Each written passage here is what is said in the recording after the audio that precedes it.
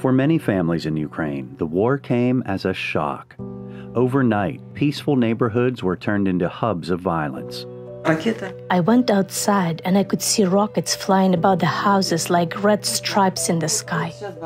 There were missiles firing and shells exploding all around.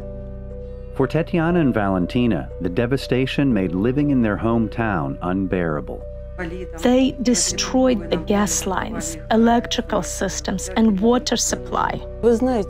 I used to be an unbeliever, but I began asking the Lord for protection.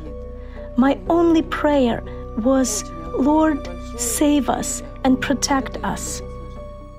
When they left their homes to escape the violence, they connected with local humanitarian groups that partner with Operation Blessing and Orphans Promise. There are many people like us who left their homes without anything. They only had time to grab a few things, and sometimes their house was already gone. That's why it is very important for people to receive this help. Here we find ourselves in a paradise. We were welcomed so warmly, and you even gave us clean sheets.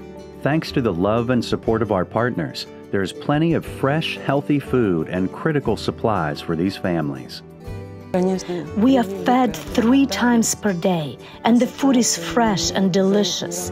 The people here are very caring and help everyone in need.